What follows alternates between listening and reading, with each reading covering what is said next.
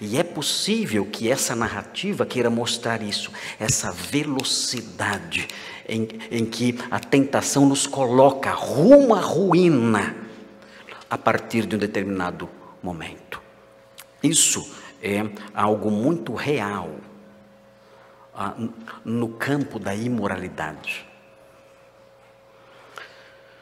Hum, casais de namorados, de noivos, muitas vezes começam a praticar certos avanços, casais crentes, que têm propósitos de santidade no namoro, que têm alvos de santidade ah, no seu relacionamento, são moços, moças, cristãos de verdade, que, que querem se guardar para o casamento conforme a palavra de Deus ensina, ainda que o mundo zombe disso, ridicularize isso, nós, nós não nos importamos com o que o mundo diz.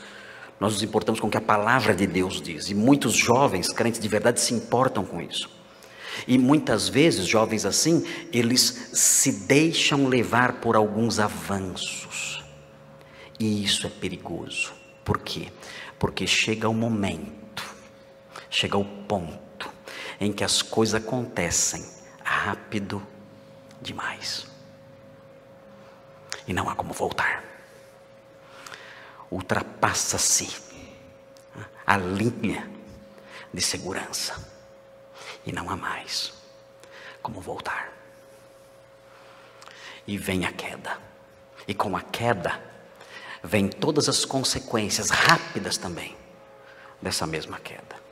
Por isso, irmãos, esse versículo implicitamente, silenciosamente, esse versículo nos ensina que nós temos que nos afastar do perigo. Se você entende que algo é uma fonte de tentação, afaste-se disso. Não tente descobrir onde é a linha de segurança, não tente. Não tente descobrir onde é o limite além do qual a queda virá fatalmente. Não tente descobrir. Não faça isso. Se você fizer isso, você se arrisca muito e não terá como voltar. Então, o certo, o correto, à luz do que temos visto aqui, o certo é você se afastar da árvore.